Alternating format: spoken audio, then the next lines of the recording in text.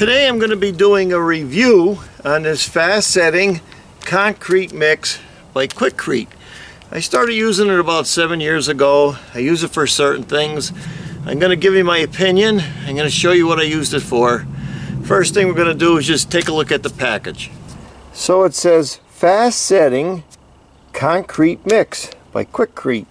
And it said set post without mixing general concrete work sets hard in 20 to 40 minutes and exceeds the compressive strength requirements of ASTM C387. That's the American Standard of Testing Materials. C is for like masonry products and 387 is whatever it is you gotta guess. They don't want to tell you what PSI it is. I looked all over for it. So here's the back fast setting concrete mix. It gives you the mixing instructions and then it says for post, how to put post in. But when I was a kid, you never use concrete around posts. You put rocks around posts and you, you bang it down. That way if the posts rotted away, you could uh, reach down, pick the rocks up and put a new post in. But that's kind of new school. And it says for uh, pouring slabs. Now I do use it for pouring slabs and I use it from other stuff. But that's about it. It don't really tell you anything else you gotta, like I said, guess. Let me explain the old school way of doing concrete. We would get one part Portland, two parts sand, and two or three parts gravel, and we mix it up, and we'd add water, and that would be our mix. This stuff Everything's mixed already. See it? It's all in there. The rocks are in there. The sand's in there. The only thing you do is you add water. Now in the old days when you ordered concrete from a concrete company, you would order one, two, three. Be one cement, two sand, three stone. Or you'd order one, two, two, depending on what you wanted. Or you'd order two, two, one and sometimes you use a different size gravel. Now this was uh, regular gravel. This was called at one time, it was called pea gravel. Now they call it 1, 1B, I think. And this is 2B. So they keep changing the names and everything, but that's the basics. This stuff is all pre-made. All you do is add the water. The old school, you would mix it as you wanted to mix it. Let me show you an example of old school mixing. This is Concrete Sidewalks Part 1. This is where I used old school mixing techniques. I brought the sand, you see I'm dumping the sand in, then I dump in the cement, then I dump in the sand again, then I mix it all up before I put the gravel in. This is the old school way of doing it. And then when it's all mixed up, then I dump the gravel in the way I want it. That would be the old school way of making concrete for a small job on a small sidewalk. Now I'm going to show you some of the new ways I use this Quikrete fast setting concrete mix.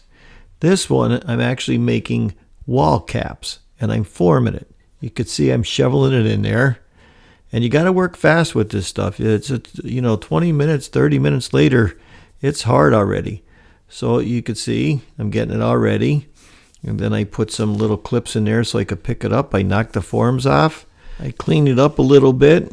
And then you'll see me, I'm piling them all up so I could distribute them. And that's what they look like when they're done. So you could use them for that. Now here's where I used it for a concrete porch stoop. It's called part three. I just got the bags. I mixed two or three of them together. And in this case, because it was it was going to be out in the weather, I added some Portland to it. I can do that. I'll explain that more at the end. And then I just mixed it up with water. Didn't have to do any uh, sand or anything. It's all set.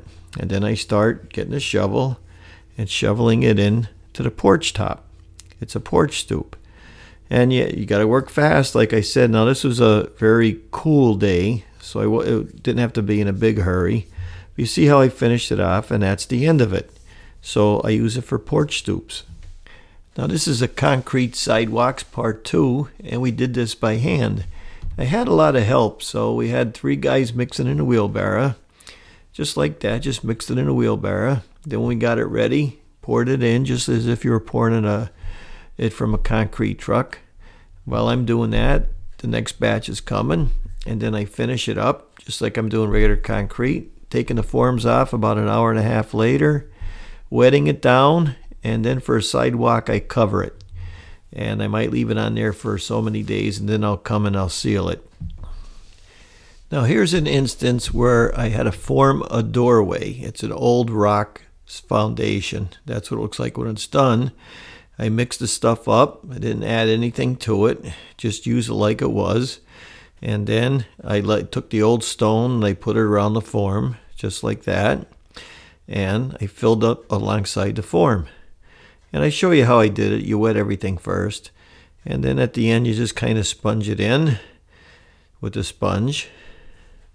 It looks like the rest of the old foundation. And look, uh, you take the, the forms off and you're done. So there's a lot of different things I use it for. Now here's a job where I'm putting in a paver sidewalk. It's a one day job. 95% of the time I always put pavers for a sidewalk on concrete base. Then they won't be heaved in the, in the spring after the winter. So instead of calling concrete trucks and waiting and waiting, I use the fast set, I put the pavers on, and I'm all done. So I showed you the jobs that I use this type of cement on. Now this cement over here is the same stuff except it's not fast drying. It's just like regular concrete. This will take hours and hours to dry, where this might take an hour, an hour and a half. Don't forget, this is all Portland cement in here, and Portland cement is the same stuff that they make highways and swimming pools and sidewalks out of. So Mike, you're gonna ask me, do you ever add anything to this? Yes, if I'm doing a sidewalk, something outside, I'll get myself a good trowel full of regular Portland cement and I'll add it to this right here. I'll add that to this mix and I'll add it to that mix. And that's going to give me the security I want for what's going on in northeastern Pennsylvania. I don't think they make it strong enough for our area. Now you go to Virginia, or you go to the Carolinas, I think you're fine with it.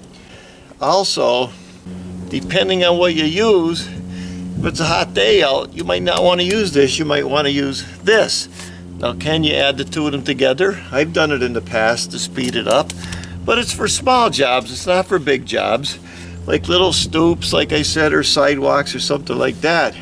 Remember that cement is not a glue, it's a binder it binds things together. It doesn't glue and hold them. That's why they're always looking for the compressive strength.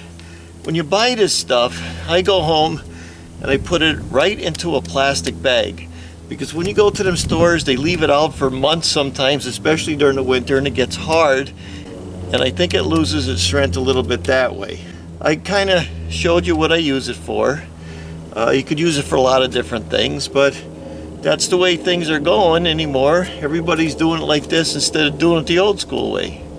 Now instead of using the old school method, like I showed you the one, two, three, they use a PSI.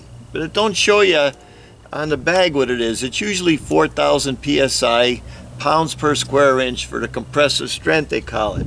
I don't think it says it in that bag either. I still like to know what they put in it, but they don't show you the ingredients. Not for the old timers like me anyway.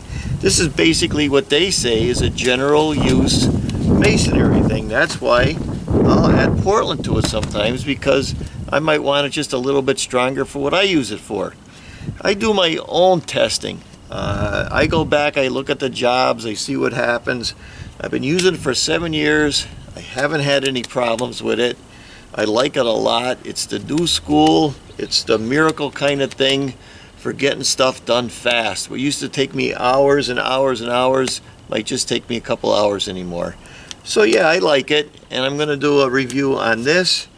Well, nobody's sponsoring me or giving me any money on this stuff. I'm just showing you what I use it for. Years ago, this stuff wasn't around. Big difference. Uh, it does help in masonry, and everything I said is my opinion and the way I do things. So thanks for watching. I'm Mike Haduck. I'll see you in the next video.